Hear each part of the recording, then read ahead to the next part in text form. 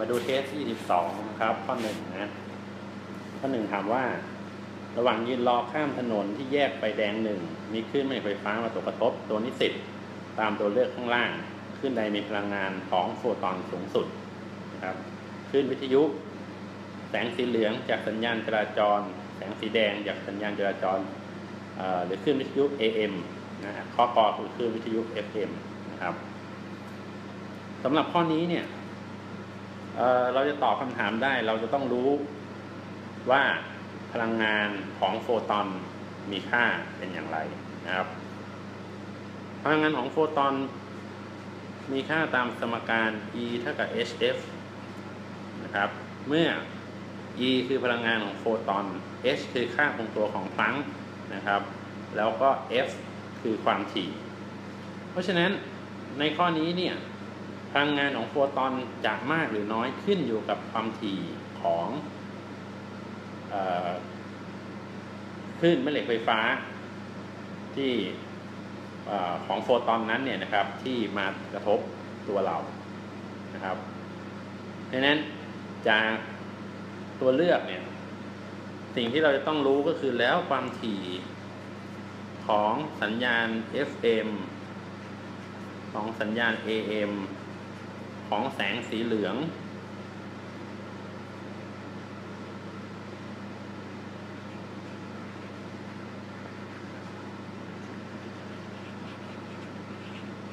นะครับ แล้วก็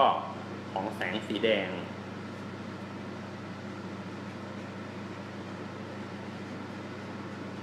ทั้ง 4 ตัวนี้ใครมีความถี่มากกว่ากันนะครับดังนั้นถ้าใครมีความถี่สูงสุด ก็โฟตอนก็จะมีพลังงานมากที่สุดนะครับอันนี้คือสำหรับข้อหนึ่งนะครับ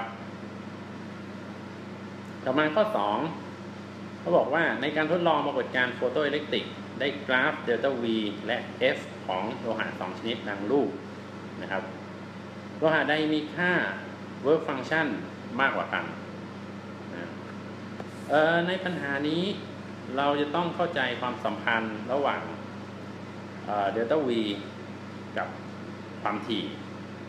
นะจากทฤษฎีโฟโตอิเล็กตริกของไอน์สไตน์นะเรามีความสัมพันธ์ของออค่าศักย์หยุดยั้งนะครับ ซึ่งเรารู้ว่าค่าศักย์หยุดยั้งนี้ มีค่าเท่ากับค่าพลังงานจนสูงสุด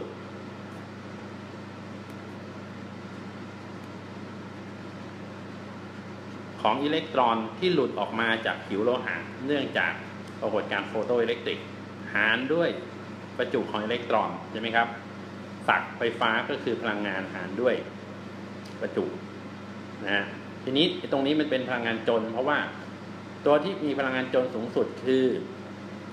อิเล็กตรอนที่จะวิ่งจากขั้วคาโทดไปยังขั้วแอนโนดจะไม่ใช่ จะวิ่งสวนทิศสนามไฟฟ้านะจริงก็คือต้องจากขั้วแอนโนดไปยังขั้วคาโทดเนี่ยได้ก็คือไปถึงพอดีแล้วก็หยุดนะครับเพราะฉะนั้นพลังงานจนสูงสุดในที่นี้ก็คือความต่างศักย์นะฮะเพราะว่าในในในปรากฏการณ์โฟโตอิเล็กตริก เวลาเราใส่ stopping potential เนี่ยเห็นไหมครับ เวลาเราใส่ stopping potential ก็คืออิเล็กตรอนวิ่งก็วิ่งไป แต่อิเล็กตรอนมีประจุเป็นลบนะครับ แต่ขณะนั้นเรากลับทิศของศักย์เพราะฉะนั้นเราจะได้ว่า สนามไฟฟ้า จะมีทิศแบบนี้ใช่ไหมครับ เพราะฉะนั้นอิเล็กตรอนเนี่ยปกติมันจะวิ่งสวนทิศของสนามไฟฟ้า แต่ถ้าเกิดว่ามันจะวิ่งวิ่งตามทิศของสนามไฟฟ้าเนี่ย มันจะต้องมีพลังงานจนค่าหนึ่ง ซึ่งสมมุติว่ามันวิ่งไปถึงขั้วแคโทดได้พอดี นะฮะก็หมายความว่าพลังงานจนตอนเริ่มต้นของอิเล็กตรอนเนี่ยจะต้องมากพอที่จะเปลี่ยนไปเป็นพลังงานศักย์ได้พอดีตอนที่มันวิ่งไปถึงอีกฝั่งหนึ่ง เพราะฉะนั้นค่าศักย์หยุดยั้งตัวนี้ก็คือค่าพลังงานจนสูงสุดหารด้วยประจุของอิเล็กตรอนนะครับ ซึ่งจะต้องมีค่าเท่ากับ fh ส่วน e นะครับ ลบ v ส่วน e นะเท่ากับ hf ส่วน e ลบ v ส่วน e hf คือพลังงานที่แสงส่องลงมาแล้วทำให้เกิดโฟโตอิเล็กตรอนนะครับดังนั้นถ้าเรามีแสงส่องลงมาแล้วทำให้เกิดโฟโตอิเล็กตรอน พลังงานของแสงที่ส่องลงมาจะต้องมีค่าเท่ากับ hf นะครับ ส่วน v คือ ค่า work function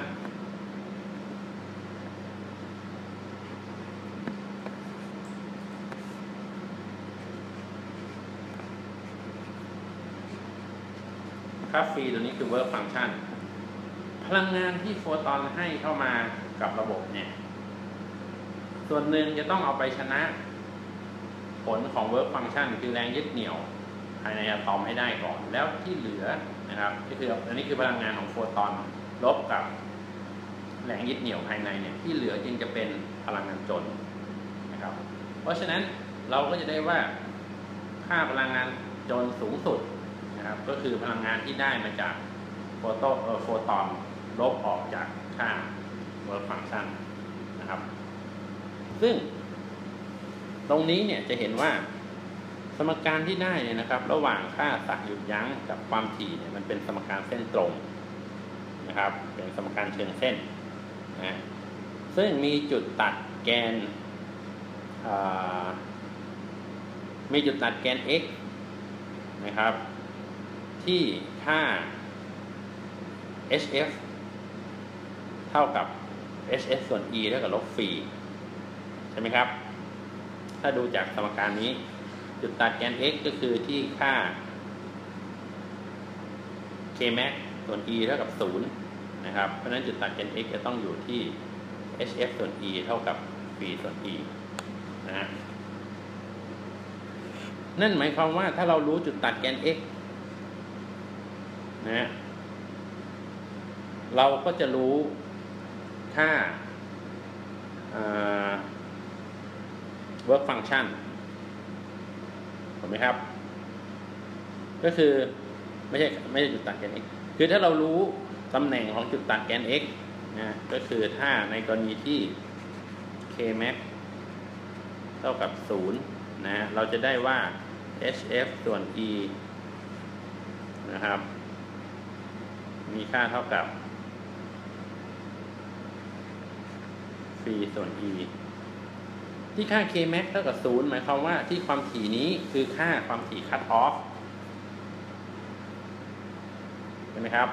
คือค่าความถี่ cut off ก็คือถ้าความถี่ต่ำกว่านี้เนี่ยก็จะไม่มีไม่มีโฟโตอิเล็กตรอนเกิดขึ้นมาแล้วนะครับก็จะไม่มีค่าโฟโตอิเล็กตรอนเกิดขึ้นมานะครับ ที่ความถี่ cut off คือความถี่ที่ มันพอที่จะทำให้อิเล็กตรอนหลุดออกจากอะตอมได้ทันทีนะครับ เพราะฉะนั้นจุดตัดแกน x ณตำแหน่งที่เป็นจุดตัดแกน x ก็คือตัวค่าความถี่ cut off เนี่ย มันก็จะเป็นตัวบอก ตัว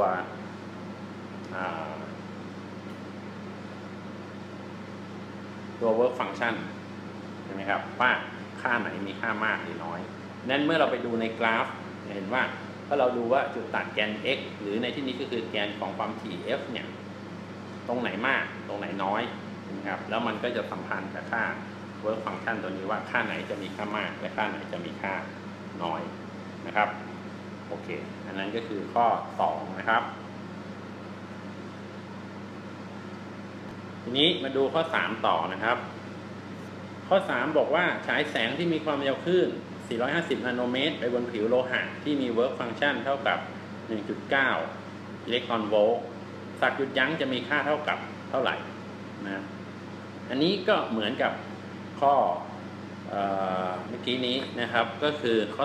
2 เรามีความสัมพันธ์ของสักหยุดยั้งมีค่าเท่ากับ hf ส่วน e ลบ work function ใช่ไหมครับ ส่วน e เพราะฉะนั้น ถ้าเรารู้ความถี่แล้วเรารู้ work function ของโลหะ เราก็จะหาสักหยุดยั้งได้ทันทีถ้าเรารู้ความถี่แล้วก็รู้ work function ของโลหะ เราจะหาสักหยุดยั้งได้ทันทีนะครับ ทีนี้ ความถี่ก็สามารถจะคำนวณได้จากสมความสัมพันธ์นะความเร็วของคลื่นแม่เหล็กไฟฟ้าคือ c มีค่าเท่ากับ lambda f ห็นไหมครับ ซึ่งในโจทย์เขาบอกความยาวคลื่นแลมด้ามา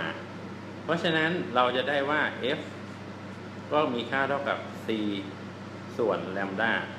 ค่า c คือความเร็วแสงเรารู้นะครับ ประมาณ3คูณ10กำลัง8เมตรต่อวินาที ความยาวคลื่น 450 นาโนเมตรนะครับ เสร็จแล้วบอก work function มาให้ก็คือบอก work function ตัวนี้มีค่าเท่ากับ 1.9 อิเล็กตรอนโวลต์ นะครับ ทีนี้เขาบอกค่า work function ออกมาเป็นเป็นหน่วยอิเล็กตรอนโวลต์นะอันนี้ก็ต้องระวังนิดหนึ่งก็คือ ความหมายของพลังงานหน่วยอิเล็กตรอนโวลต์เป็นหน่วยของพลังงานนะครับ ไม่ใช่หน่วยของความต่างศักย์ความหมายของพลังงานหนึ่งอิเล็กตรอนโวลต์ก็คือพลังงานของอิเล็กตรอนหนึ่งตัวที่ผ่านความต่างศักย์หนึ่งโวลต์ ก็คือถ้าเราให้อิเล็กตรอนตัวนี้วิ่งผ่านความต่างศักย์ขนาดหนึ่งโวลต์พลังงานของมันก็จะเป็นหนึ่งอิเล็กตรอนโวลต์ทีนี้ ถ้าเราให้อิเล็กตรอนวิ่งผ่านความต่างศักย์หนึ่งโวลต์นะฮะพลังงานสมมติว่าตอนแรกอยู่ที่ขั้วลบนะครับอยู่ที่ขั้วลบแล้วอิเล็กตรอนเคลื่อนที่ไปยังขั้วบวกจังหวะที่มันแตะขั้วบวกเนี่ยมันก็จะมีพลังงานจนเท่ากับ1อิเล็กตรอนโวลต์ แต่การที่อิเล็กตรอนเคลื่อนที่ผ่านความต่างศักย์1โวลต์เนี่ยพลังงานที่เปลี่ยนไปนะครับ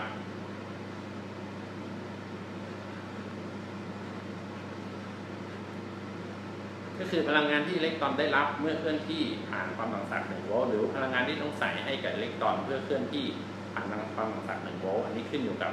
ทิศของการเคลื่อนที่นะครับ ถ้ามันเคลื่อนที่จาก ขั้วลบไปขั้วบวกอย่างนั้น ก็จะมีพลังงานเกิดขึ้นกับอิเล็กตรอน แต่ถ้าเกิดเคลื่อนที่จากขั้วบวกไปขั้วลบหมายถึงต้องมีคนผลักอิเล็กตรอนไปที่ขั้วลบนะนะแต่ว่าไม่ว่ายังไงก็แล้วแต่พลังงานที่อิเล็กตรอนได้รับเมื่อเคลื่อนที่ผ่านความต่างศักย์หนึ่งโวลต์มันก็คือ เอาประจุของอิเล็กตรอนคูณกับหนึ่งโวลต์เห็นไหมครับอันนั้นก็คือพลังงาน หนึ่งอิเล็กตรอนโวลต์เพราะฉะนั้นถ้าเราได้ค่าพลังงานมาแล้ว เราก็เอามาแทนค่าในสมการนี้นะครับ แล้วก็หารกันออกมา เอาเทอมแรกหารด้วย e ลบด้วยเทอมสองหารด้วย e หารกันแล้วก็ลบกันออกมาครับ ก็จะเป็นคำตอบของโจทย์ข้อที่สามครับ ต่อมาดูข้อสี่นะครับ ข้อสี่บอกว่าดวงอาทิตย์มีรัศมีเจ็ดคูณสิบกำลังแปดเมตรนะระยะเฉลี่ยจากโลกถึงดวงอาทิตย์คือ1.5คูณ10กำลัง11เอ็ดเมตร ความเข้มแสงลวงจากดวงอาทิตย์ที่ผิวโลกคือ1,400วัตต์ต่อตารางเมตร ถ้าประมาณว่าดวงอาทิตย์เป็นวัตถุดำ จงคำนวณอุณหภูมิที่ผิวของดวงอาทิตย์นะครับ ในโจทย์บอกค่าความเข้ม แสง รวม ที่ผิวโลก มีค่าเท่ากับพันสี่ร้อยวัตต์ต่อตารางเมตร แต่ความเข้มแสงคืออะไร ถ้าดูจากหน่วยก็จะเห็นได้ชัดเจนนะครับ ก็คือความเข้มคืออัตราการส่งผ่านพลังงาน ซึ่งมีหน่วยเป็นวัตต์ต่อหนึ่งหน่วยพื้นที่ นั่นหมายความว่า พลังงานที่ส่งออกมาจากดวงอาทิตย์ แล้วส่วนหนึ่งมันมาตกที่ผิวโลกเนี่ยนะ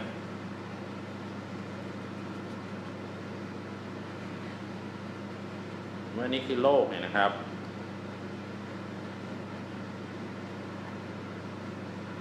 นี้คือดวงอาทิตย์นะพลังงานที่ส่งมาจากดวงอาทิตย์นะซึ่งดวงอาทิตย์เนี่ยส่งพลังงานออกทุกทิศทางนะครับ ส่งพลังงานออกในทุกทิศทาง ส่วนหนึ่งมันมาตกที่ผิวโลก ถ้ถ้าเราคิดพลังงานต่อพื้นที่ตรงที่ตกที่ผิวโลกจะมีค่าเท่ากับ 1,400 วัตต์ต่อตารางเมตร นะอันนี้คืออัตราการส่งผ่านพลังงานต่อพื้นที่ เพราะฉะนั้นถ้าเราต้องการคำนวณพลังงานทั้งหมด อัตราการส่งผ่านพลังงานทั้งหมดที่ดวงอาทิตย์ส่งออกมาไอ้ที่ตกที่ผิวโลกคือเฉพาะส่วนเดียวนะครับ ที่มันตกที่ผิวโลก ซึ่งมีค่าเท่ากับ1,400วัตต์ต่อตารางเมตร ถ้าเราต้องการจะคำนวณพลังงานทั้งหมด ก็หมายความว่า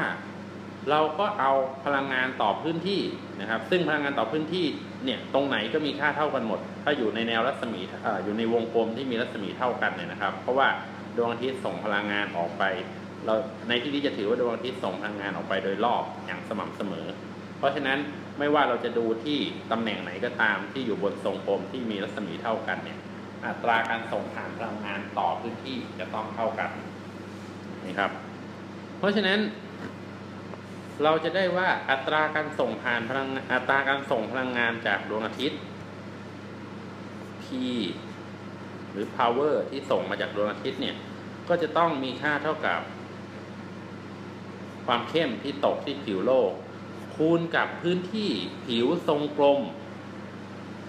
ที่มีรัศมีเท่ากับระยะห่างจากดวงอาทิตย์ถึงโลกนะครับ ถ้าเราตรงนี้คือทรงกลมที่เป็น ที่มีระยะห่าง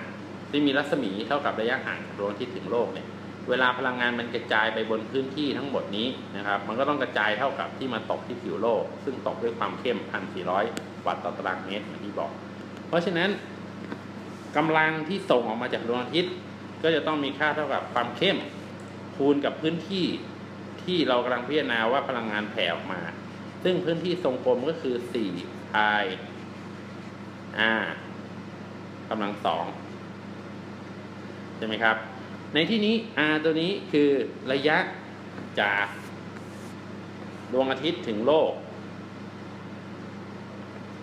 r คือระยะจากดวงอาทิตย์ถึงโลกนะครับ แต่ทีนี้ค่ากำลังที่แผ่มาที่โลกเนี่ย มันย่อมต้องเท่ากับกำลังที่ดวงอาทิตย์จ่ายออกมา จากจุดเริ่มต้น ซึ่งก็คือที่ผิวของดวงอาทิตย์ถูกไหมครับ จากหลักอนุรักษ์พลังงาน พลังงานที่แผ่ไปแล้วตกบนพื้นที่ทรงกลมอันนี้เนี่ยจะต้องเท่ากับพลังงานที่แผ่ไปจากผิวของดวงอาทิตย์ เพราะฉะนั้นถ้าเราให้ดวงอาทิตย์ มีรัศมีเป็น r เล็กนะครับ ค่ากำลังอันนี้ก็จะต้องมีค่าเท่ากับความเข้มที่ผิวดวงอาทิตย์ คูณกับ พื้นที่ผิวของดวงอาทิตย์ ก็คือ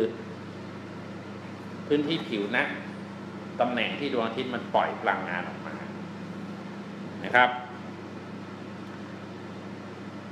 จากสมการนี้ จะทำให้เราคำนวณค่าความเข้มที่ผิวของดวงอาทิตย์ได้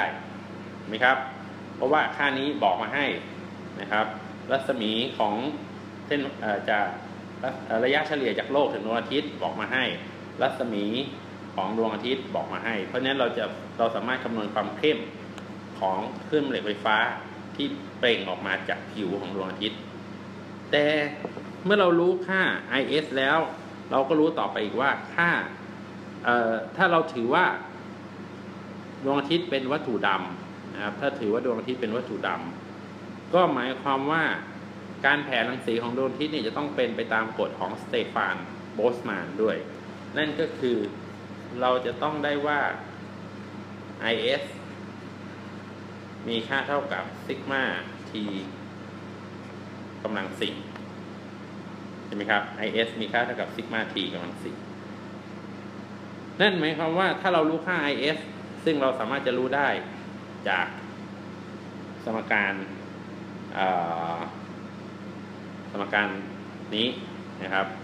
จากเอาจับเอาสองสมการนี้มาเท่ากันนะแล้วเรารู้ IE เรารู้ R ใหญ่ เรารู้ R เล็กนั้นเราจะคำนวณ IS ได้ แต่เรารู้ว่า IS มีค่าเท่ากับเท่านี้ เพราะฉะนั้นจากสมการของ IS เราก็จะได้ว่าอุณหภูมิที่ผิวของดวงอาทิตย์มีค่าเท่ากับรากที่4ครับของความเข้มนะหารด้วยค่าซิกมานะเพราะฉะนั้นจากตรงนี้ปุ๊บเราก็จะสามารถคำนวณอุณหภูมิที่ผิวของดวงอาทิตย์ออกมาได้ทันทีครับ ต่อมาข้อ 5 นะครับ ต่อเนื่องจากข้อ 4 บอกว่าจงคำนวณความยาวคลื่นแม่เหล็กไฟฟ้า จากดวงอาทิตย์ที่มีความเข้มสูงสุดนะครับ อันนี้เราจะต้องใช้สิ่งที่เรียกว่ากฎของวีน นะครับ ซึ่งกฎของวีนบอกว่า ค่าค่าความยาวคลื่น ที่มีความเข้มสูงสุด ในที่นี้ใช้สัญลักษณ์ลมด้าแม็กจะแปรผกผันกับอุณหภูมิ นั่นก็คือถ้ายิ่งอุณหภูมิสูง ค่า ลมด้าก็จะยิ่งมีค่าน้อย ก็คือจะเลื่อนไปทางด้านที่มีความยาวคลื่นต่ำหรือความถี่สูงนะครับ ซึ่ง ตรงนี้เนี่ยเราสามารถจะเขียนเป็นสมการ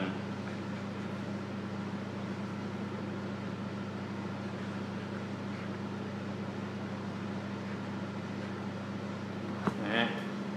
จะเขียนเป็นสมการในค่าหนึ่งเมื่อค่า r คือค่าคงตัวของค่าคงตัวในเขาเรียกว่า wind displacement นะครับ wind displacement constant นะหรือเป็นค่าคงตัวการกระจัดของ wind นะฮะซึ่งค่า r นี้ มีค่าเท่ากับสองจุดแปดเก้าแปดคูณสิบกำลังลบห้านะ องจุดแปดเก้าแปด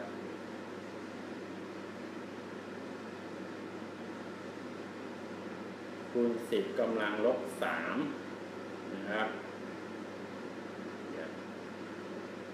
สองจุดแปดเก้าแปด